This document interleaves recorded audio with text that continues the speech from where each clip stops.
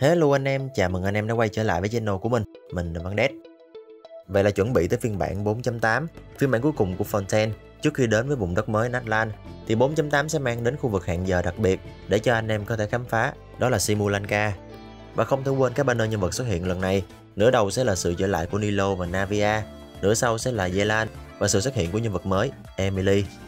Như tiêu đề, video hôm nay sẽ là tư vấn role cũng như là tóm tắt và phân tích nhanh về các nhân vật năm sao sẽ xuất hiện trong phiên bản 4.8 để anh em có thể tham khảo cũng như có cái nhìn rõ ràng hơn trong những lựa chọn sắp tới. Và vẫn như các số tư vấn trước thì mọi phân tích của mình đều dựa trên quan điểm cá nhân. Anh em chỉ nên xem với tâm thế tham khảo là chính. Quan trọng nhất vẫn là lựa chọn của anh em.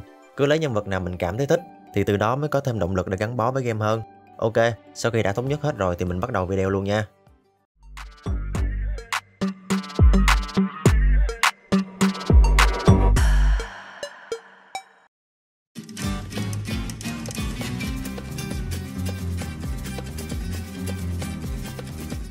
Đầu tiên là về Navia. Đây là một nhân vật mình có thể gói gọn trong một từ, mạnh. Nếu anh em mà đã xem video tư vấn drone phiên bản 4.3 của mình, cũng như video hướng dẫn build Navia, mình đã từng nói Navia sẽ là một nhân vật cho lượng sát thương rất là mãn nhãn, cũng như là một nhân vật có tiềm năng được phát triển mạnh hơn nữa về sau. Thì nó đúng y chang như mình nói ha anh em. Là một nhân vật hệ nham, nhưng không giống với các nhân vật DPS hệ nham cũ. Navia không bị bó buộc quá nhiều về mặt đội hình, cũng như vận hành. Đặc biệt là không phải xem mặt quá trước khi vô chiến đấu, anh em sẽ không phải lo nghĩ nhiều về việc kẻ địch có khiên hay là giáp nguyên tố bởi vì Navia sẽ cần phải đi cùng với các nhân vật sở hữu những loại nguyên tố có thể tạo ra được phản ứng kết tinh nên việc phá giáp, phá khiên không phải là vấn đề lớn. Với những tiêu chí như trên thì việc xếp đội hình cho Navia sẽ khá thoải mái. Anh em không cần guru của mình xấu, anh em không nhất thiết phải phụ thuộc vào nhân vật tạo khiên để chống gián đoạn. Việc xếp đội bây giờ sẽ phụ thuộc vào kẻ địch sở hữu giáp nguyên tố gì hay thông số kháng nguyên tố như thế nào. Từ đó chúng ta có thể lựa chọn ra các nhân vật hợp lý để đi cùng với Navia. Một điểm sáng nữa của Navia đó chính là phần trang bị. Anh em không nhất thiết phải có chấn hay là cung mệnh để mạnh, mà Navia đã có thể cho lượng sát thương ấn tượng, cũng như vận hành ổn áp ở mức C0 rồi không. Vậy nên, Navia cũng là một nhân vật khá thân thiện với anh em người chơi mới. Nếu như anh em đang cần nhân vật gây sát thương tốt, dễ chơi, dễ xếp đội hình, thì Navia sẽ là lựa chọn cực kỳ hợp lý.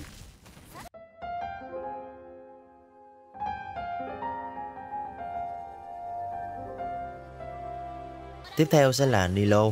Đây là một nhân vật không xa lạ nữa rồi ha anh em. Với nhân vật này thì mình sẽ không có khái niệm mạnh hay yếu, mà sẽ là tùy vào content chiến đấu có phù hợp hay không. Cụ thể là với đa mục tiêu, thì Nilo cùng đội hình của mình sẽ đem đến cho anh em một màn trình diễn cực kỳ mãn nhãn. Ở chiều ngược lại, cũng không có nghĩa là Nilo không thể đánh được trong content đơn mục tiêu. Mình cũng đã thử rồi nha anh em. Tuy nhiên tổng thể phần nhìn lẫn thời gian để vượt qua không thực sự ấn tượng. Phải nói là hiệu quả kém hơn rất nhiều so với đa mục tiêu. Đây là cái điều chắc chắn rồi. Nhân vật này tạo ra vốn để sử dụng trong content đa mục tiêu. Dùng đúng nơi thì hiệu quả mang lại sẽ tăng cao nha anh em. Một điểm sáng nữa là Nilo cực kỳ dễ build, nhất là khoản chi số cũng như tiết kiệm chi phí. Anh em chỉ cần nâng level nhân vật, còn kỹ năng thì dường như không cần nâng gì cũng không sao, vì bóp hạt nhân căng tràn của Nilo nằm hết ở thiên phú cố định. Cụ thể hơn như thế nào thì hẹn anh em ở video riêng của Nilo nha. Ok, tổng hợp là các yếu tố trên, Nilo không phải là một nhân vật kiểu sẽ giúp tài khoản của anh em mạnh lên hẳn khi roll về, mà cô nàng sẽ phát huy tối đa khả năng của mình trong một số trường hợp nhất định. Vậy nên, Nilo sẽ phù hợp cho các anh em yêu thích nhân vật là chính, chứ còn anh em đang cần các nhân vật đa dụng, đi được nhiều content khác nhau mà vẫn đạt hiệu quả cao thì mình nghĩ là anh em bỏ qua cũng được nha.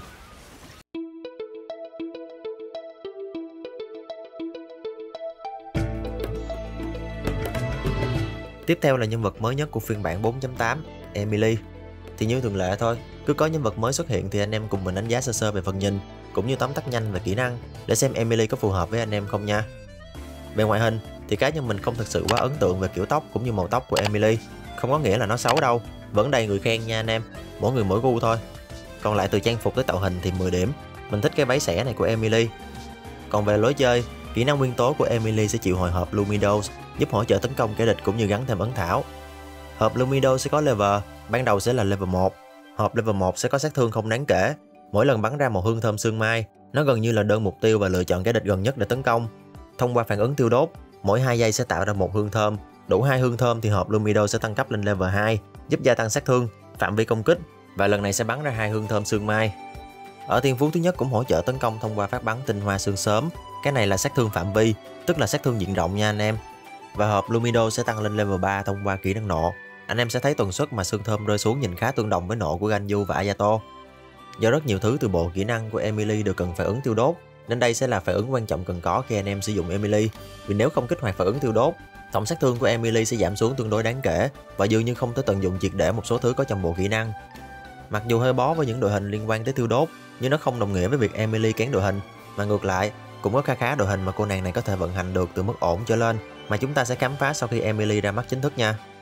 Với việc xoay quanh phản ứng tiêu đốt để gia tăng sức mạnh, Emily là một nhân vật mà cá nhân mình thấy sẽ khá là thú vị, nhiều tiềm năng để phát triển trong thời gian sắp tới, mở rộng thêm nhiều lựa chọn về mặt đội hình. Và tổng kết lại thì Emily cũng không hẳn là một nhân vật quá cần thiết phải có để giúp nâng cấp tài khoản trở nên mạnh hơn. Mà cô nàng này sẽ là lựa chọn phù hợp cho các anh em thích khám phá nhân vật mới, trải nghiệm các đội hình mới. Còn anh em người chơi mới chưa có nhiều nhân vật mạnh mẽ trong tài khoản hoặc chưa đủ nhân vật để xếp đội hình thì nên cân nhắc kỹ trước khi roll nha.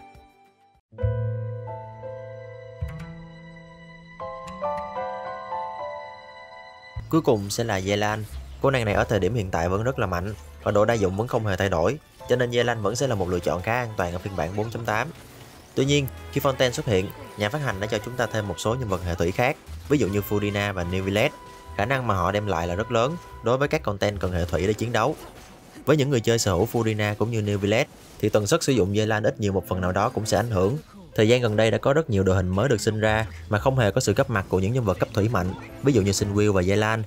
Gần đây nhất có Alexino, đội hình bốc hơi có Zelan rất mạnh, tuy nhiên đây không phải là đội hình duy nhất. Alexino có những đội hình khác ví dụ như quá tải, đội ba hỏa và tương lai cũng có thể là đội thiêu đốt cùng với Emily chẳng hạn. Tổng kết lại thì Zelan vẫn rất hữu ích, nhất là khoản sức mạnh cũng như độ đa dụng mà cô nàng này mang lại là không thể bàn cãi.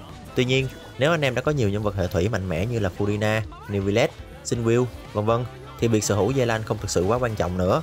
Nếu có thì tốt, còn không có thì vẫn chẳng ảnh hưởng gì. Ngược lại, nếu như anh em đang thiếu một nhân vật cấp thủy mạnh để mở rộng các lựa chọn về đội hình thì Gia Lan chắc chắn là một nhân vật anh em không nên bỏ qua.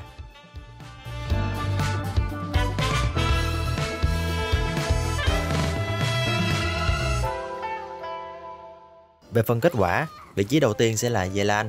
Đơn giản vì mình vẫn sẽ ưu tiên hơn về mặt an toàn, một nhân vật có đầy đủ yếu tố như sức mạnh, độ đa dụng, dễ sử dụng, thuận tiện cho cả đi map cũng như các content endgame. Thứ hai sẽ là Navia, cô nàng này sẽ là ưu tiên hàng đầu nếu như anh em thiếu một nhân vật có thể gây lượng lớn sát thương. Thứ ba sẽ là nhân vật mới Emily với cơ chế đầy hứa hẹn và cuối cùng sẽ là Nilo.